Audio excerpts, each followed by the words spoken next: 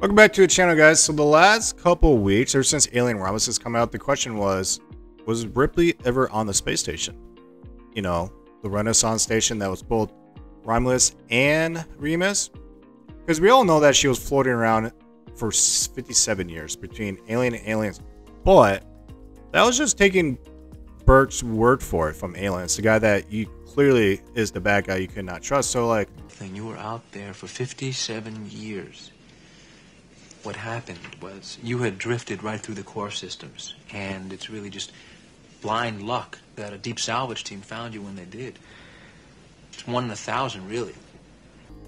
was she really floating around, or did she get picked up when they picked up the big chap and they just kept her asleep? Because if you watch right when the ship pretty much goes into the star, a lot of people are saying if you pay attention to that little bottom corner, that's Ripley's thing getting sent out.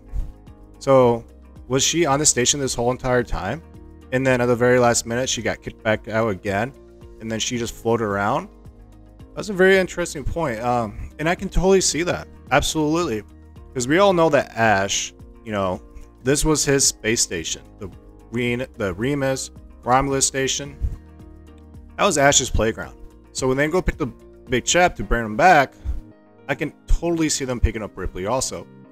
Because even Ripley, she was shocked, she's like, "Wait, I was in space for how long? I was sure I shouldn't be in space. That I should have been picked up a lot sooner." But of course, Burke, he's like, "Oh yeah, yeah, it's just you, we didn't we didn't find you." But till then, it's like, now I'm starting to question that. It makes a lot of sense if she was on that station. If you're gonna go watch it again, I, I know for a fact when I go watch the Alien Romulus again, I'm gonna be like looking at every single corner of the movie. Like he is there there has to be more hints, more Easter eggs, but was Ripley on the space station? I think she was. Um prove me wrong. I can't wait to see what you guys have to say about this.